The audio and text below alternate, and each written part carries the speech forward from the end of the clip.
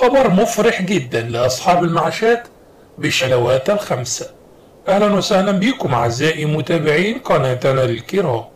أتمنى من الله القدير أن تكونوا في أفضل حال.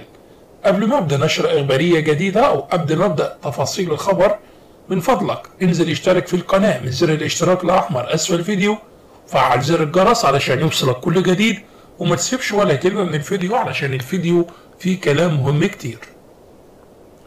علق النائب محمد وهبلطة وكيل لجنة القوى العاملة بمجلس النواب على موافقة البرلمان على مشروع قانون بشأن العلاوات الخمسة.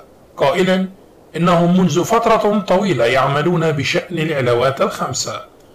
أضاف وهب الله خلال مداخلة تليفونية مع الإعلامي السيد علي ببرنامج حضرة المواطن المذاع على فضائية الحدث اليوم مساء يوم الأحد إنهم اجتمعوا خلال الأسبوعين الماضيين مع هيئة التأمين الاجتماعي لبحث العلاوات الخمسة وأكدوا على ضرورة وجود مشروع قانون لمنح العلاوات.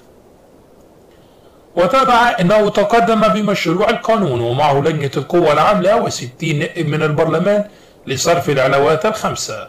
مشيرا إلى أن رئيس مجلس النواب أحال مشروع القانون إلى لجنة القوى العاملة والتي ستبدأ في انتهاء من هذا القانون خلال هذا الأسبوع أو الأسبوع المقبل مؤكدا أن الأزمة ستنفرج قريبا.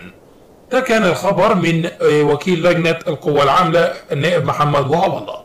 لو عجبك الفيديو ما تنساش تشترك بالقناة وتفعل زر التنبيهات ليصلك كل جديد. شكرا لكم على حسن المتابعة.